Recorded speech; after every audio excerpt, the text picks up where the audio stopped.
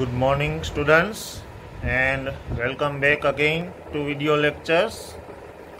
हमने आपके पिछले एक दो वीडियोस में अश्मद और युष्मद के विभक्ति के रूप सीखे उसके पहले चार वीडियो में हमने chapter one sorry chapter two का पार्ट वन टू थ्री और फोर देखा था अ, आज के वीडियो में हम आपका चैप्टर थ्री शुरू करेंगे।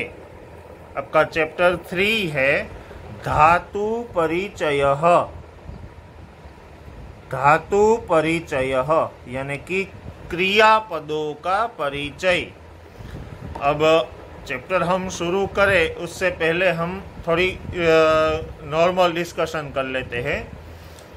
आपने फॉर्म फाइव में जो पीछे वाला टेक्स्ट बुक में परिसिस्टम था, उसमें लट लकार और लुट लकार, ये दो टेबल्स सीखे थे, प्रेजेंट टेंस और फ्यूचर टेंस का।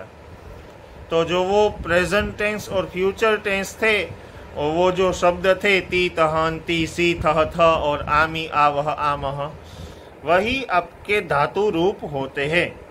बट यहाँ पर आपको एक स्पेसिफिकली एक चैप्टर के तौर पर समझाया गया। वो हमने ग्रामर के टॉपिक के तौर पर पढ़ा था। यहाँ पर आपको चैप्टर के माध्यम से सिखाते हैं। धातु परिचय। आपको बहुत ही अच्छी तरह से पता है कि धातु क्या होता है। फिर भी मैं आपको एक बार समझा देता हूँ। इंग्लिश में अगर हम ऐसा बोलते हैं कि टू रीड तो वो सिर्फ़ वर्ब कहलाएगा। V E R B verb और रीड में आईएनजी डाल देंगे तो रीडिंग हो जाएगा।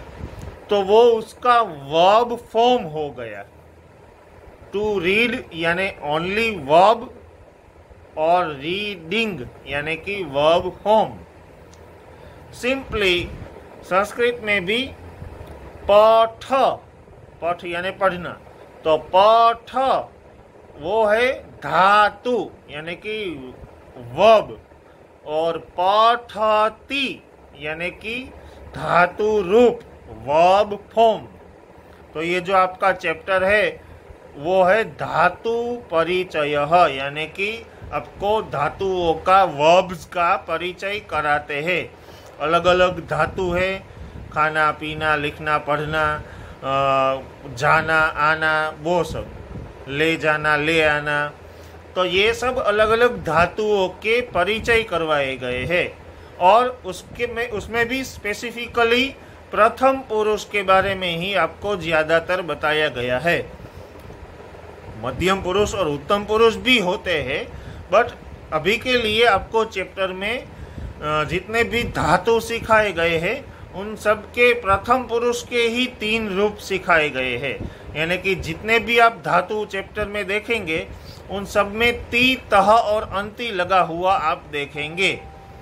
ठीक है? तो चलिए आई होप कि आपको धातु परिचय का पत, मतलब पता चल गया है। यानी कि इंट्रोडक्शन ऑफ़ वर्ब्स अलग अलग प्रकार के धातुओं का इंट्रोडक्शन और उसका एक प्रथम पुरुष का एक वचन द्विवचन और बहुवचन। तो चैप्टर शुरू कर आपका चैप्टर शुरू होता है यहाँ से। बट उससे पहले आपको यहाँ थोड़ा सा एक्सप्लेनेशन दिया गया है। वो मैं आपको पढ़कर सुनाता हूँ और समझाता हूँ।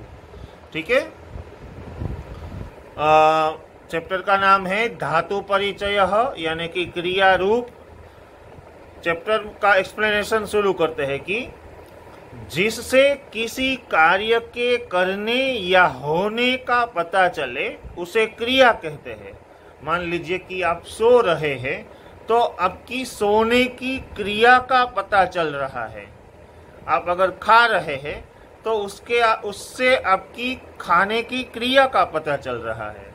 तो उस, इसलिए उस पर्टिकुलर एक्टिविटी को क्रिया कहते हैं। तथा क्रिया के मूल रूप को संस्कृत में कह धातु कहते हैं। फॉर एग्ज़ाम्पल मैं पठती बोलूँ तो वो तो आपकी पढ़ने की क्रिया हो गई। बट मैं सिर्फ़ पठ बोलूँ तो वो धातु कहलाएगा, क्योंकि वो पठती है, वो क्रियापद है। बट सिर्फ़ पठ है, वो धातु का मूल रूप है। इसलिए पठती क्रिया रूप और पठ यानी कि धातु ओनली धातु। जैसे पठ धातु का अर्थ होता है पढ़ना, लिख का अर्थ होता है लिखना आदि। मैं ऐसा बोलूँ कि पढ़ते हैं या तो लिखते हैं तो वो तो क्रिया हो गई। बट उसका मूल रूप क्या होता है पठ, यानी कि पढ़ना, लिख, यानी कि लिखना। ठीक है? धातु के लिए ऐसे, जैसे आप इंग्लिश में मैथ्स में स्क्वायर रूट बनाते हैं तो वैसे ही आपको किसी भी धातु का सिर्फ़ अगर मेंशन करना है तो आपको ये जो आप देख सकते हैं स्क्वायर रूट की साइन है यहाँ पर। तो अगर आपको सिर्फ़ किसी धातु का नाम लिखना है तो उसको स्क्वायर रूट की साइन में लिखना पड़ेगा। छात्र ध्यान रखे कि लिंग परिवर्तन से धातु के रूपों में कोई अंतर आता नहीं। अर्थात पुल्लिंग, स्त्रीलिंग तथा नपुंसकलिंग तीनों लिंगों में धातु के रूप समान रहते हैं। ये जानने वाली बात है। मैं ऐसा बोलूँ कि वह लड़की पढ़ रही है तो पठती ही होगा। अब मैं ये बोलूँ कि वह लड़का पढ़ रहा है तो भी वो होगा तो पठती ही। भले ही स्त्रीलिंग और पुल्लिंग अलग अलग है तो उसके लिए पठती और पठतीता ऐसा कोई अलग नहीं आता। क्योंकि जो हम जिसके बारे में बात कर रहे हैं ही शी इट वो चाहे कोई भी हो, धातु की क्रिया तो वो एक ही कर रहा है ना? इसलिए लिंग परिवर्तन होने के कारण क्रिया के रूप में या सफिक्स में कोई परिवर्तन नहीं आता। वो पठती का पठती ही रहेगा। फिर चाहे वो पुरुष हो या स्त्री हो या नपुंसक लिंग हो। ठीक है? और काल को संस्कृत में लकार कहते हैं, जो कि मैंने आपको पहले ही बताया कि अगर हम वर्तमान काल ऐसा बोलते हैं तो तो हमें पता चलता है कि प्रेजेंट टेंस की बात है। बट वर्तमान को संस्कृत में लट और काल को संस्कृत में लकार कहते हैं। तो वर्तमान काल, यानी कि लट लकार कहलाता है। यानी कि काल को लकार कहते हैं। पठ धातु के लट लकार के रूप निम्नलिखित है। यानी कि आपको देखिए, यहाँ एक छोटा सा टेबल दिया गया है। पठती, पठत, पठंती, वो सब आपके लिए बाद की बात है। बट अभी के लिए आपको सिर्फ़ अलग अलग धातुओं के क्रियाओं का परिचय करना है। बट ये जो समझने वाली, जानने वाली बात है, वो ये है कि जिन धातुओं का रूप सभी लकारों में समान रहता है उन्हें अपरिवर्तनीय धातु कहते हैं। और जिन धातु में परिवर्तन आता है, उन्हें परिवर्तनीय धातु कहते हैं। कुछ धातुओं के लट लकार के प्रथम पुरुष के रूप निम्नलिखित है। देखिए, ये अपरिवर्तनीय और परिवर्तनीय क्या है, वो आप समझिए। फॉर एग्ज़ाम्पल मैं आपको बोलूँ प्रेजेंट टेंस में पठती। और उसका फ्यूचर टेंस होता है पठिष्यति।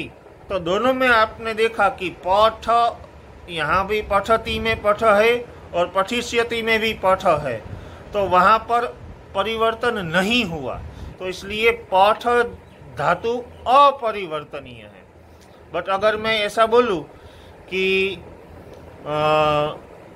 गच्छति पठती में मूल धातु क्या है? पठ और गच्छति में मूल धातु है वो गम डैश गच्छ है। तो उसका एक ये लट लकार में, वर्तमान काल में गच्छति होगा। बट फ्यूचर में गमिष्यति होगा। गच्छिष्यति नहीं होगा। तो ये गम गच्छ जो मूल धातु है, उसमें वर्तमान काल में गच्छति का यूज़ किया। और फ्यूचर में गच्छ का यूज़ नहीं किया, गम का यूज़ किया, गमिष्यति। तो जिसमें चेंज आए, उसे परिवर्तनीय धातु कहते हैं, और जिसमें चेंज न आए, उसे अपरिवर्तनीय धातु कहते हैं। ठीक है? तो आइए शुरू करते हैं। पूरे चैप्टर में आपको देखिए, आप देख सकते हैं यहाँ पहला है हस। आप अपनी स्क्रीन पर देख सकते हैं, पहला हस धातु है यहाँ तो उसका मीनिंग दिया हंसना, फिर उसका एक वचन दिया हसती, हसत हसंती। ठीक है? वैसे ही उसके बाद वाला है रक्ष तो उसका मीनिंग होता है रक्षा करना। तो रक्षती, रक्षत रक्षंती। मीनिंग भी आप साथ साथ में समझते जाइए, पर पहला है हस, उसका मीनिंग होता है हंसना। तो हसती यानी कि वह एक हंस रहा है। हसत यानी कि वो दोनों हंस रहे हैं और हसंती यानी कि वे सब हंस रहे हैं। रक्ष, दूसरा धातु है रक्ष, यानी कि रक्षा करना। तो रक्षती, रक्षत, रक्षंती, यानी कि वह एक रक्षा कर रहा है, वह दोनों रक्षा कर रहे हैं, वह सब रक्षा कर रहे हैं। फिर तीसरा धातु है क्रीड। तो क्रीड यानी खेलना। तो क्रीडती, क्रीडत, क्रीडंती। वह एक खेल रहा है, वे दोनों खेल रहे हैं और वे सब खेल रहे हैं। फिर चौथा धातु है वध, यानी कि बोलना। तो वदती, वदत, वदंती, यानी कि वह एक बोल रहा है, वह दोनों बोल रहे हैं और वह सब बोल रहे हैं। तो ये तीन चार मैंने आपको विथ मीनिंग बता दिए। अभी हम सिर्फ़ मैं धातु का नाम बोलूँगा आप मन, और उसका मीनिंग बोलूँगा। आप मन में आधे मिनट के लिए, पाँच दस सेकंड के लिए सोचिए, फिर उसके तीनों वचन के रूप बोलने हैं। जैसे हमने हस का हसती हसत हसंती किया, रक्ष का रक्षती रक्षत रक्षंती वद का वदती वदत वदंती। वैसे ही मैं आगे आने वाले जो और पाँच से लेकर ग्यारह तक के जो धातु है उनके नाम और मीनिंग बोलूँगा, उसका एक वचन, द्विवचन और बहुवचन आप मन में सोचकर बनाइएगा। मैं भी साथ में आपको कंफर्म करवाऊँगा। चलिए, धातु नंबर फाइव नम, यानी कि नमस्कार करना। तो सोचिए, क्या होगा? इसके एक वचन, द्विवचन और बहुवचन। यस नमति, नमतः नमंती नेक्स्ट धाव यानी दौड़ना। तो उसका क्या होगा? धावती धावत धावंती। नेक्स्ट है पठ, यानी पढ़ना। तो उसका क्या होगा? पठती, पठत पठंती। नेक्स्ट एट्थ खेल, यानी खेलना। तो क्या होगा उसका? खेलती, खेलत, खेलंती। नेक्स्ट खाद, यानी कि खाना। तो खादती, खादत खादंती। फिर नेक्स्ट पच, यानी कि पकाना टू कुक तो उसका क्या होगा? पचती, पचत, पचंती. और लास्ट में भ्रम, यानी कि घूमना. तो इसका क्या होगा? भ्रमती, भ्रमत, भ्रमंती. तो इस प्रकार आपने अभी ग्यारह धातुओं का परिचय किया.